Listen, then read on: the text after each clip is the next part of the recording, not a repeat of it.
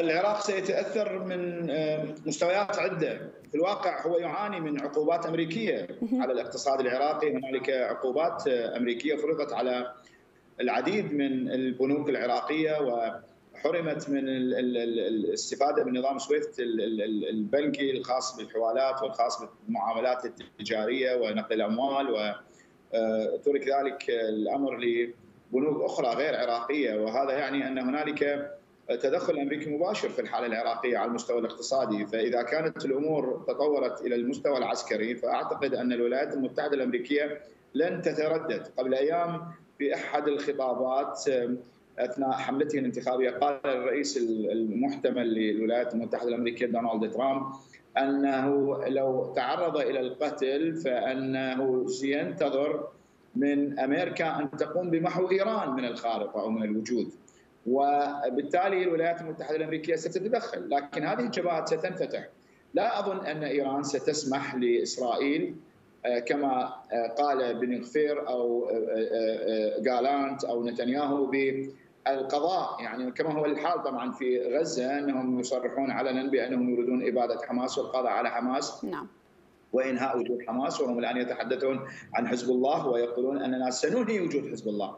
أعتقد أن دمار حزب الله أو إنهاء حزب الله في لبنان هو نهاية لمشروع المقاومة بالكامل، يعني المشروع الذي ترعاه إيران والفصائل العراقية والفصائل اليمنية وفي سوريا وفي لبنان وربما حتى تحالفات ممتدة دولية باتجاه كوريا الشمالية والصين وروسيا وحتى منظمة بريكس و فنزويلا وغيرها من الدول التي تناكف الولايات المتحدة الأمريكية والمشروع الغربي والمجموعه الغربية التي ترأسها واشنطن ولهذا الكل ربما سيتدخل بمستويات عدة وبحسب نوع التأثير الذي سيطال أي مؤسسة أو أي جهة ولكن فيما يتعلق بالشأن الحكومي الرسمي العراقي فربما لا لا لا يمكن حاليا على الأقل أن نتصور أن المؤسسة العسكرية الرسمية العراقية ستتعرض إلى ضربات سواء من الولايات المتحدة الأمريكية أو من إسرائيل. نعم. هم لديهم بنك قواعد وأهداف في العراق كما هو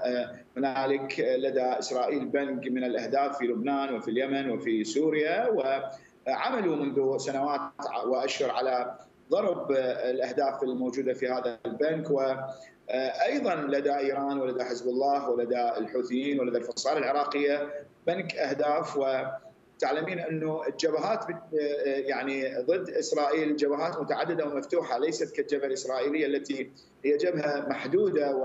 ويمكن أن لو اشتركت جميع هذه الجهات في ضرب إسرائيل وبالفعل استخدمت أسلحة عالية الدقة وذات قدرة تدميرية هائلة فربما ستؤدي إلى كوارث حقيقية في إسرائيل التي لن تتحمل ردات الفعل حتى مع تصريحات مسؤولين إسرائيليين بانه إسرائيل ربما تدفع ثمنا باهظا ولكنها ستنتصر أو ان هذه حاجة إلى دفع هذا الثمن الباهظ في المواجهة، لكن لاحظتم كيف أن مجموعة من المواطنين دروز تعرضوا بالأمس إلى ضربة في قرية مجد الشمس في الجولان المحتل وكانت قدرة الصاروخ الذي قيل أنه بالخطأ أو أنه من نتاج القبة الحديدية نعم. في اعتراضه لصواريخ لبنان قتل أكثر من أو 12 إنسان وجرح العشرات ودمر مساحة وتوغل في الأرض كثيرا هذا الصاروخ بالرغم من أنه كان يحمل عبوه يعني تفجيرية تزن 50 كيلو غرام فقط فكيف إذا نعم استخدمت صواريخ عاليه